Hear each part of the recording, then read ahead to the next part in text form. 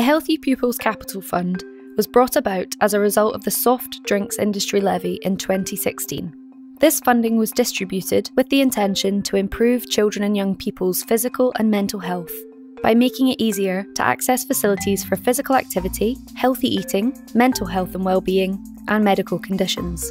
The allocation of this funding has been driven by the characteristics of schools and their pupils. As a result of this, Cornwall Council and Active Cornwall took a targeted approach to have a more significant impact in three priority locations across Cornwall Bodmin, West Penwith, and St Austell. So I'm here at Nanstallon School today to talk to head teacher Ben Stevenson about how he's going to be spending the money from his grant. Situated just outside Bodmin, the school has an area outside the early years classroom that they want to develop into a space that will promote physical activity and learning through play outside.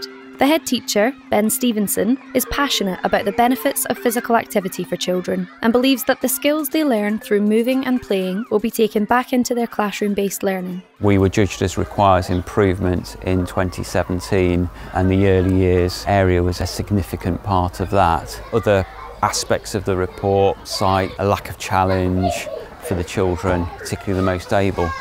This area behind us um, is going to become our new early years outdoor area. It moves us right next door to the preschool, so that's really going to aid transition. And we're going to be creating an area that is multifaceted, that actually means that children will develop communication and language, physical development, both gross and fine. We want them to be confident, we want them to be problem solvers, we want them to think out of the box and this type of environment will just promote all of those skills. We will be back to Nanstallon later to see the finished build. St Teath is located in the far north of Cornwall, in a very rural area where the school itself sits on the road going into the small village.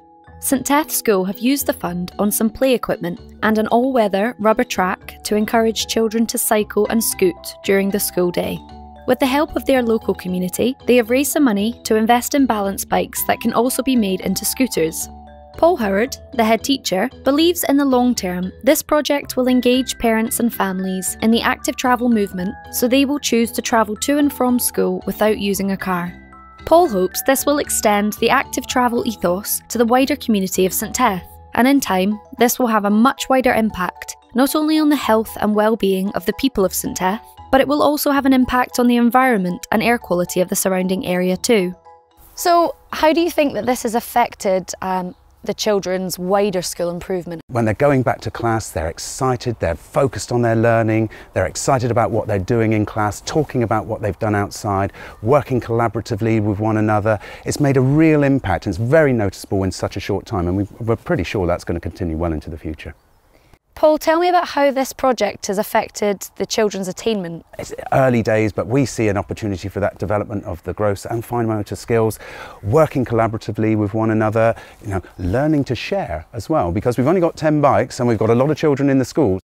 Because we've seen such an impact in our young children, we're also extending that in, into our year two and year three children, and they're very keen to get outside and use this facility as well. We're hoping to extend it to the wider school community and not just our early years group. There isn't anything like this in, in the surrounding village, um, a soft track that the children can use. And what we're hoping is that through their excitement of, of learning in a safe environment, the children will extend this into cycling towards school, coming to school on bikes. We will have Bikeability for all of the reception children in the next few weeks. That's extended later on in the school life when they go into year five. Through getting excited about the experience of learning how to cycle, how to balance on bikes, going through Bikeability, we'll see more and more children coming to school, A, on scooters, B, on their balance bikes, and, and C, just cycling on their own. St Teath is a great example of how to provide an active environment for children to thrive.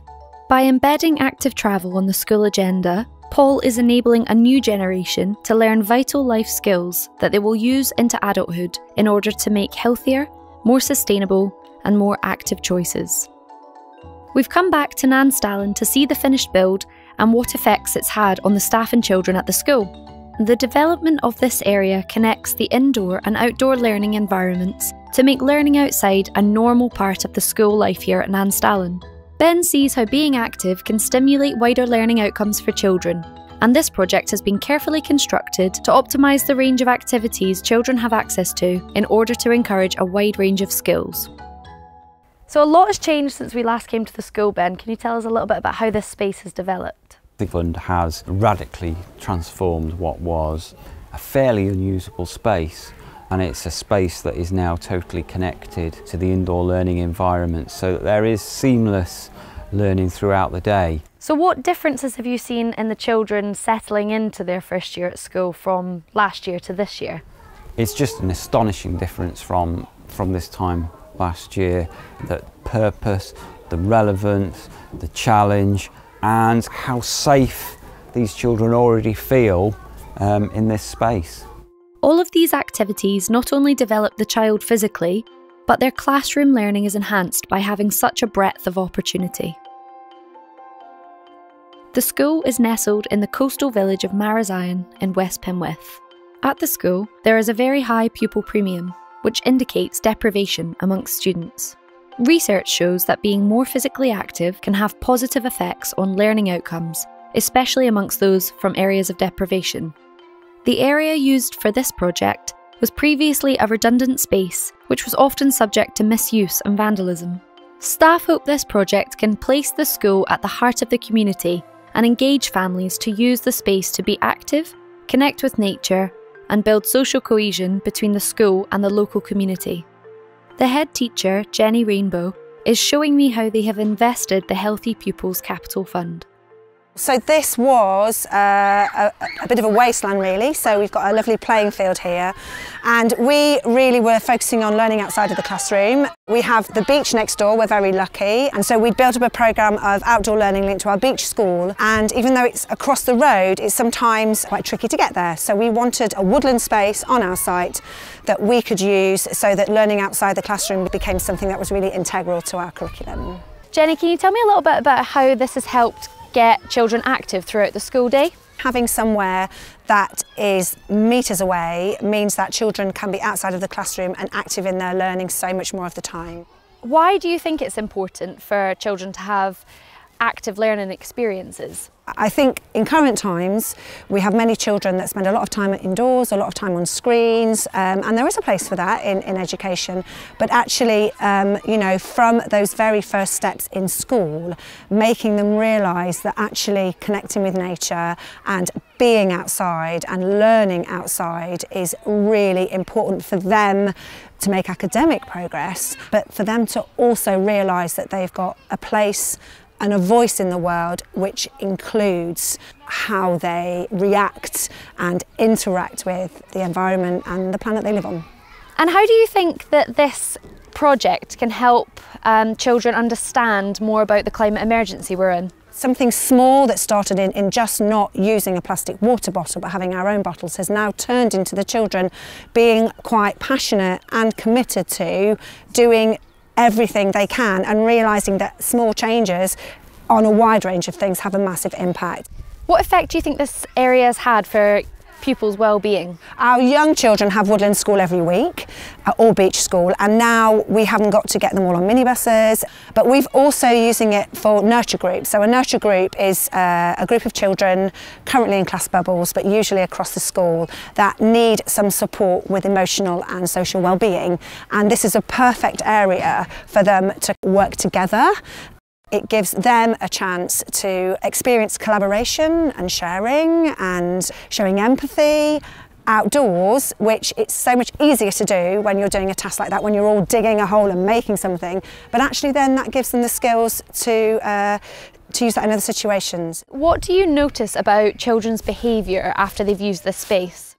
The children come and work out here and they've had you know, a wonderful space, some really meaningful learning, and then they go back into the classroom and that learning also is more productive. So it is just making sure, you know, a quality, uh, beautiful um, outdoor space and place, I think just really helps all sorts of learning.